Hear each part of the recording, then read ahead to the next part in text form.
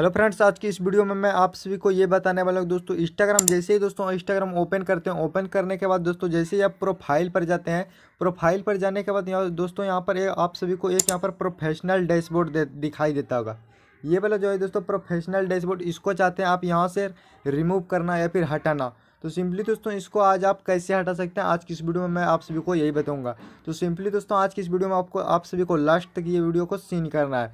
दोस्तों अपने आपने अभी तक वीडियो को लाइक नहीं किया तो दोस्तों वीडियो को लाइक कर दीजिए और चैनल को सब्सक्राइब कर दीजिए। तो चलिए दोस्तों किसी देरी के वीडियो को स्टार्ट करते हैं।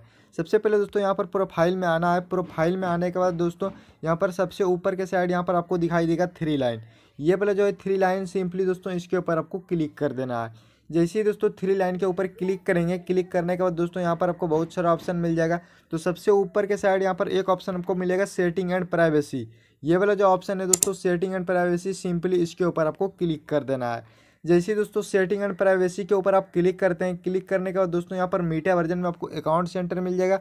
तो इसको कुछ भी छिड़कानी नहीं करना है। थोड़ा सा यहाँ पर ऊपर के साइड स्क्रॉल करना है। जैसे ही दोस्तों थोड़ा सा ऊपर के साइड स्क्रॉल करेंगे स्क्रॉल करने के बाद दोस्तों यहाँ पर आप सभी को एक ऑप्शन मिल जाएगा क्रिएटल टूल्स एंड कंट्रोल ये वाला जो ऑप्शन है creator tools and control simply दोस्तों आपको इसके ऊपर आपको क्लिक कर देना है।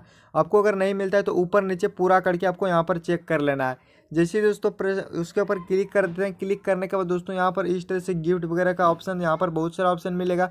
तो सिंपली यहाँ पर आपको क्या करना है, थोड़ा सा इस तरह से स्क्रॉल करना है। स्क्रॉल करने के बाद दोस्तों यहाँ पर एक ऑप्शन आपको दिखा स्विच अकाउंट टाइप ये वाला जो ऑप्शन है स्विच अकाउंट टाइप आपको दिखाई दे रहेगा सिंपली दोस्तों, यहाँ पर इसके ऊपर आपको क्लिक कर देना है। जैसे ही दोस्तों इसके ऊपर आप क्लिक करेंगे क्लिक करने के बाद यहाँ पर आपको नीचे के साइड दो ऑप्शन दिखाई देगा। यहाँ पर स्विच टू बिज़नेस अकाउंट और स्विच टू पर्सनल अकाउंट ये वाले जो ऑप्शन दो ऑप्शन आपको दिखेगा अगर आप उससे बिज़नेस करते हैं तो सिंपली बिज़नेस वाले पर क्लिक कर दीजिए। अगर आप चलाते हैं, ऐसी वीडियो वगैरह सब बनाते हैं तो सिंपली नीचे के साइड यहाँ पर एक ऑप्शन मिलेगा स्विच टू पर्सनल अकाउंट ये वाले जो है switch to personal account simply दोस्तों इसके ऊपर आपको क्लिक कर देना है। जैसे ही दोस्तों इसके ऊपर आप क्लिक करेंगे क्लिक करने के बाद दोस्तों इस टाइप से आपको ऑप्शन शो करेगा और यहाँ पर आपको लिखा हुआ मिलेगा रेड कलर में स्विच टू पर्सनल अकाउंट तो सिंपली इसके ऊपर फिर से आपको क्लिक कर देना है। जैसे ही दोस्तों उसके ऊपर क्लिक करते हैं क्लिक करने के बाद यहाँ पर देख सकते हो दोस्तों मेरा स्विच टू पर्सनल अकाउंट हो चुका है।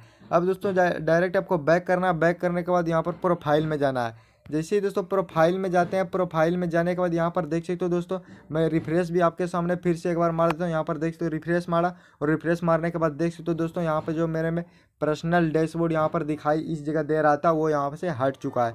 तो इस तरह से दोस्तों आप पर्सनल डैशबोर्ड इंस्टाग्राम आईडी से हटा सकते हैं। दोस्तों अगर आपको वीडियो पसंद आएगा तो दोस्तों वीडियो को लाइक कर देना और चैनल को सब्सक्राइब कर देना। मिलते हैं किसी अगले वीडियो में।